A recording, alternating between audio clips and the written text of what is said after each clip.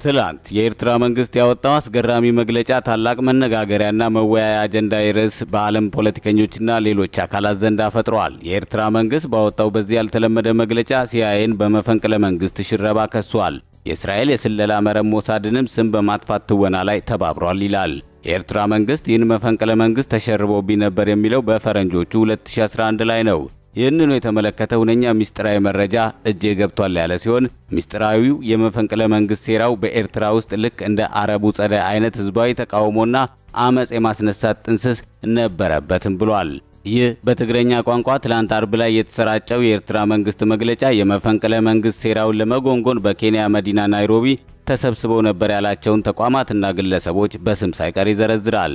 የተባበሩት መንግስታት ድርጅት የስደተኞች ኮሚሽን ኤርትራውያንን በግፍ እንዲሰደዱ የማሳለስ ሥራ እንዲሠራ በሲአይኤ ይታዘዝ ነበር ሲልም ያክላል።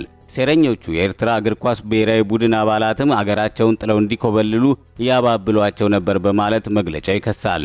በ2009 በኬንያ ተሳትፎ ያደረገው የኤርትራ እግር ኳስ ብሔራዊ ቡድን ከፊል አባላት ወደ አገር ቤት ለመመለስ አሸፈረኝ ማለታቸው የሚታወቅ ሲሆን በቅርቡ ደግሞ አራት የብሔራዊ ቡድን አባላት በኡጋንዳ በተመሳሳይ ጥገኝነት ጠይቀው እንደሚገኙና ለደህንነታቸው በመስጋት ከቦታ ቦታ እየተዘዋወሩ የድብቅ ኑሮ እንደሚኖሩ በተለያዩ የዓለም ታላላቅ መገናኛ ብዙሃኖች መዘገቡ ይታወሳል።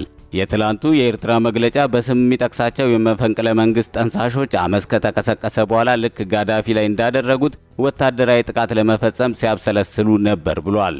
የእስራኤሉ ሞሳድ በበኩሉ የኤርትራ መንግስት ከመካከለኛው ምስራቅ ከሚንቀሳቀሱ አሸባሪ ቡድኖች ጋር እንደሚሰራ የሚገልጹ ሐሰተኛ መረጃዎችን በማሰራጨት ተሳትፎ ማድረጉን ያወሳል።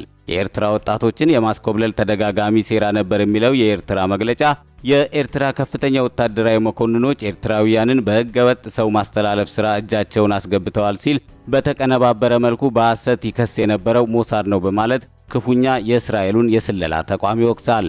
የኤርትራ መንግስት ይፋ ባደረገው ምስጢራዊ ሰነድ ከተጠቀሱት ጉዳዮች መሃል የሚከተለው ሐሳብ ይገኝበታል። በኤርትራ የመንግስት ለውጥ የሚሻ እንቅስቃሴ መጠበቅ ከንቱ ህልም ነው። ስለሆነም የኤርትራን መንግስት ለማስወገድ የአገሪቱን ወታደራዊ ባህሪ ጠንቅቆ የሚያውቅ የውጭ ኃይል መጠቀም ይኖርብናል። ይህንኑ የሚያሟላ ደግሞ የወያኔ ስርዓት ነው ይላል።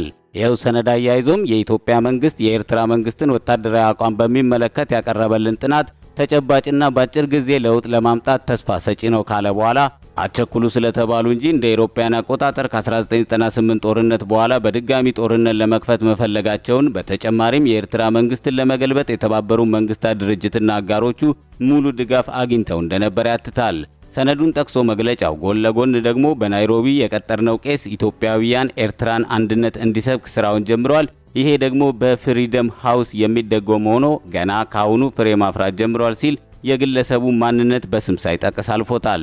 የኤርትራ መንግስት ይህም መግለጫ ባልተለመደ መልኩ ለምን በዚህ ሰዓት ማውጣት እንደፈለገ ግልጽ አይደለም ያለው የዘገባችን ምንጭ ቢቢሲ በጉዳዩ ላይ የአሜሪካና የእስራኤል መንግስታትን ምላሽ ለማካተት የተደረገው ሙከራ ፍሬ አለማፍራቱንም አካቶ ጠቅሷል።